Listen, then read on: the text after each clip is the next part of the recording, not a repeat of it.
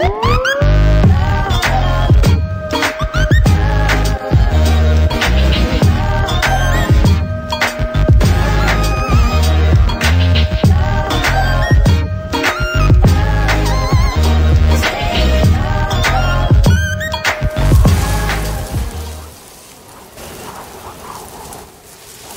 mga ka-spaghetti!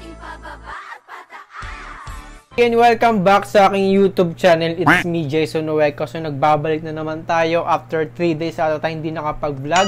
So, anyway, kung nakikita nyo naman sa akin, tatalayin po yung iba-vlog ko ngayon. And na-update ko kayo sa skincare ko kasi hindi naman ako papalit-palit ng skincare mga spaghetti, no? Kasi ang pangit naman nyo, baka masira yung ating muka. So, anyway, may bago ako na-discover na product na sabon ko ngayon is yung ano lang siya. Myra E, mamay papakita ko sa inyo kasi ang una kong ipapakita sa inyo yung mga ginagamit ko dati. Yung mga nakanood na dati, is alam nyo naman siguro kung paano ko to ginagawa and alam nyo naman na loyal talaga ako sa product na to. And disclaimer lang po mga kaspaghetis, hindi po ito sponsor. So, hindi ko siya papatagalin. And kung bago ka pa lang sa akin sa YouTube channel ko, please subscribe and click the button bell para ma-notify kapag may mga bago kong upload, ayan, para updated kayo sa mga ginagawa ko sa buhay, mga, mga kadramahan ko. So anyway, let's start na tayo. Papakita ko sa inyo yung unang product is yung Celitech. Ayan yung mga ginagamit ko talaga sobrang tagal na. Ilang years na ako naggaganto na Celitech kasi sobrang effective siya. Yun lamang is mga kaspaghetti is, hindi naman siguro lahat ng product is naggumagana sa akin kasi hiyangan lang naman to. Kaya ako tumagal dito sa product na to kasi kasi naging hiyang yung product sa akin na Celtic na to. Ito po yung Hydration Facial Wash with N with NMF Natural Moisturizing Factor. And dermatologist tested na to. Non-comedogenic, hypoallergenic, fragrance-free. Fragrance-free? Ano? Fragrance-free, ayan. Kung bulol ako, hayaan nyo na kasi di naman tayo lahat perfecto. Ayan. So, ang direction nito is apply facial wash or wet skin. Massage in, massage in a gentle circular motion. Rinse, rinse, ano to? Basahin. Rinse thoroughly. Use sa often as needed. Kaya ginagamit ko siya pag tuwing umaga and tanghalian gabi. And dahil tinatamad ako tuwing umaga sa kagabi para pagising ko nagilamos agad ako. And hindi ko siya binababal kasi ayoko ma-irritate yung mukha ko. So anyway, after ko mag-Celitech na to, alam niyo naman siguro kung paano ko ginagawa to. Matagal ko na itong binablog. And next is syempre, pag may facial wash tayo, kailangan may moisturizing tayo. So meron akong bagong moisturizing ngayon. And I think hindi naman siya bago kasi ibang kulay lang to kulay blue. Kumpara sa Myra ko na kulay red siya, pero parang same lang siya. Pero yung isa kasi parang mas medyo malapot na konti, pero pag dilagay mo sa mukha mo is hindi siya pumuputi. Parang ano lang, normal lang. And ito kasi, yung blue na to, yung Fresh Glow Whitening Facial Moisturizer for Shine-Free Look. Pag ginagamit mo siya mga kaspaghetis, parang ano lang siya eh, parang sobrang bango niya, hindi siya mabaho legit na mabango siya, hindi siya mabaw, promise. Pag nilagay mo siya parang ano, may ano ka, may nilagay kang ano, at yung ginagamit sa mga babae, yung makeup. Parang may foundation na ginagamit pag ginagawa mo siya, tapos ano, nag-glow yung mukha mo. And ginagamit ko to sa ano, tuwing umaga, hapon, and gabi rin siya para balance naman, di ba? Para hindi man puro gabi. And meron siyang Wheat Pro, Radiance, Complex, and UV Protection. Yan kaya ko ito ginagamit mga kaspaghetti pag umaga or hapon kasi umalis ako lagi sa labas. Kasi pag nag-grocery ako, pag bumibili ako sa mini stop ng, ng bigas, yan ganyan, gumagamit ako kasi may araw sa labas, di ba? Kaya ginagamit ko sa mukha ko sa sa leg ko para pantay, di ba?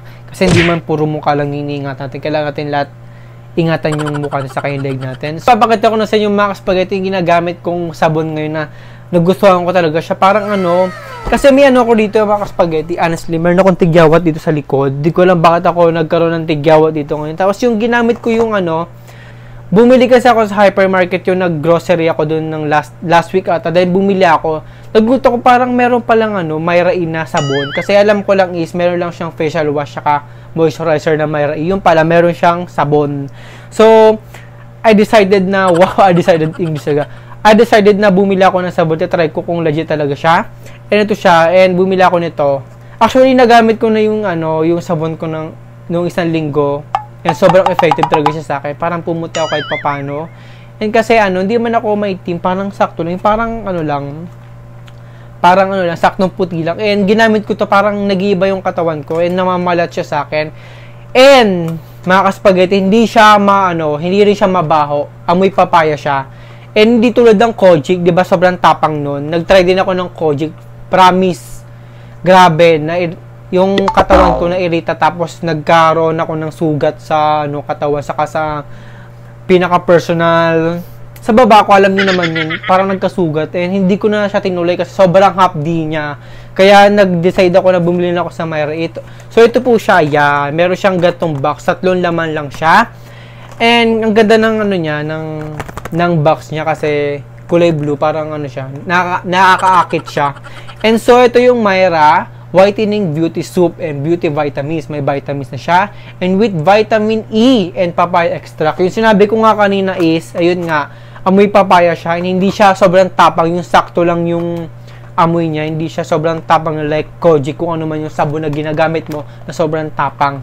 Parang hindi sa akin hiyang yung kojic na yun sa kaya dito ako nagmagiging loyal ngayon kasi naging effective siya saka nawala yung tigyawat ko sa likod. Hindi ko alam bakit nawala dahil sa sabon na to. So anyway thank you thank you so much sa inyo. Marai disclaimer lang to. Na ano pa ako napiyok pa. Disclaimer lang to is hindi po siya sponsor. So ipapakita ko sa inyo yung box. And pag bumili kayo nito is dalawa lang siya kasi ginamit ko na sa banyo na siya. Ayan. To. Plain white lang siya pero nakalagay yung ano niya, Myra. So ipapakita ko na sa inyo. Siyempre meron dito expiration. Siyempre hindi mo wala ito. Papakita ko sa inyo kasi okay naman kahit buksan to kasi nakalagay naman sa box. Ayan. Ayan o. Oh. Diba nakalagay Myra. Saka pag ano, pag nahuhulog siya sa banyo, hindi siya nababasag. Di tulad da yung iba pag ano, 'di ba, pag nadampian sa ano, yung sa kara sa gripo, pag natamaan dun parang lumulubog. Ito ang tigas talaga, di ko alam bakit ang tigas eh. Eh no, so, amoy papaya siya. Saka na-addict ako sa amoy niya kaya tumatagal ako sa banyo minsan. Minsan nakakadalawa ko ng ganito eh. Kaya ang bilis maubos siya kasi hindi siya gano makapal kasi mura lang to sa isang box yata I think napansin ko 13 pesos ata or 20. Hindi ko nakalimutan ko na kung ano. Marami to sa, siguro meron to sa Watson or sa, sa SMI per market na yan. Hmm, bango. So, meron tong ano, enriched. Oh, tama ba yung pronunciation ko? Enriched with vitamin E and papaya extract. Deeply cleanses for healthy white skin in as early as 7 days. Yun nga, tama nga yung hula ko mga kasbagat. Isang linggo ko siya ginamit, parang pumuti talaga ako. And hindi siya, no, hindi siya masyadong nairita. Kaya, wala kasing amoy kaya ganun. So, tama nga ako kasi hindi ko pa ito nababasa. Biglang nakalagay nga dito, tama-tama ako. Isang linggo lang talaga yung sabon na to kasi hindi masya gano'ng kakapal. Ang dal-dal ko lang talaga. Has vitamin E, a strong and, and has vitamin E, a strong and toyo an antioxidant antioxidant putek yung hirap na talaga ako sa mga mahirap na mga spelling that protects skin from aging. O yun tama tama nga ako. Swak na swak to sa sabon ko. Has natural papaya extract that gently white whitening skin. Po yun. Has sali has salicylic acid that exfoliates skin and eliminate eliminates excess oil and dirt to reveal clear and smooth skin. Yung tamang-tama nga ako, nag-smooth talaga yung ano ko, skin ko nito. Mayra iba ka naman. Sponsor mo naman ako, bigyan mo naman ako maraming ganito kasi sobrang hiyang na talaga ako dito eh. Charet! Is paraben and paraben and meat free. Hypo hypoallergenic and dermatologist tested. So, ayun nga po, swak na swak siya sa akin. So, thank you so much, Myra A, kasi na-discover ko na may sabon pala kayo. Kasi akala ko talaga is, ano lang kayo, pang mukha lang kayo. Yung pala meron kayo sabon panligo. Minsan, ginagamit ko sa mukha ko to minsan, mga kaspagete. Ginagamit ko to sa mukha ko pag naghihilamos ako. And hindi naman siya nairita kasi hindi naman siya namamalat. And hindi siya umahap din sa mukha ko. So, swak na swak to sa aking mukha. So, kung gusto niyo siya i-try, please try nyo na. Hindi kayo magsisisi kasi mura lang siya and swak sa budget po nyo. And legit po siya kasi ako na nagsabi, promise, gina nawala na masyado yung ano ko dito. Mm, di ba? Ayan, meron pa ako pa pala konti. Dati ang dami ko talaga dito. And pumuti talaga yung mukha ko, di ba? Oh, ayan, oh, walang edited yan. Puti talaga ako ngayon. Ewan ko na lang pag lumabas talaga ako. ayan, oh. Marami yan mga kaspagari. Tama-tama ako. Marami talaga yun. Tapos biglang nag-light siya. Hindi ko lang baka daw titigawa siguro dahil sa kakapuyat ko.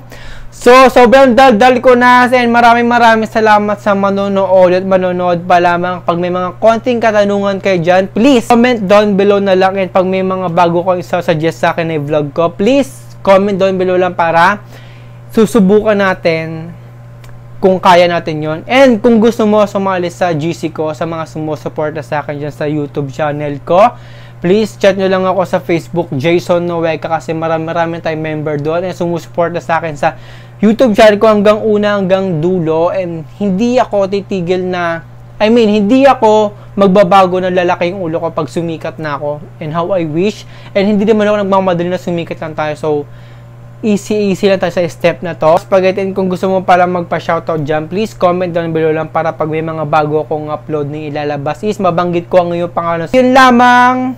Thank you so much and bye-bye! Love you so much.